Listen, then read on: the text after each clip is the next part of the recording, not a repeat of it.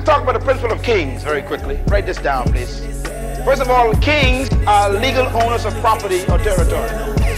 Number two, kings own whatever is in and on their property.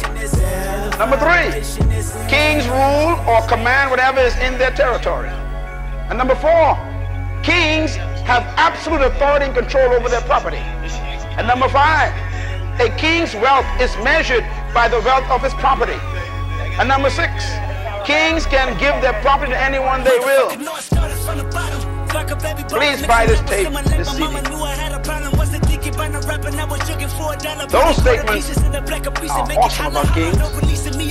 You cannot be a king unless you have property. The property of the king is called his domain. The domain is the property the king rules. The king owns the property. Kings don't rent. So some of you ain't quite yet ruling, but you're on your way. Say, never on my way.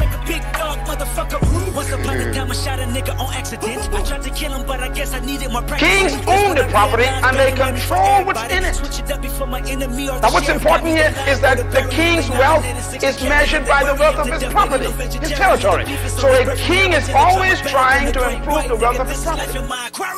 That's the measure of his kingdom quality of wealth. That's why the empires of the old world who you know about, Britain and France and Portugal and Spain and all these great kingdoms, they were kingdoms first, they were not countries, they were kingdoms. Do you know what their greatest goal was? To go and get more land and get more wealth. So they sent explorers out to find land, to find gold, and to bring it back to their kingdom and to own more land. That is why extended their rulership over new territories, and they call those territories colonies. The Bahamas is a result of kingdoms who wanted to expand their wealth. When a kingdom discovers land and it has wealth in it, they want to possess it. That's why kingdoms fight over property. Anybody listen to me? The Spaniards almost had the Bahamas. Did you know you almost spoke Spanish? Read, go back to history, read history books. The Spanish held the Bahamas for a short period.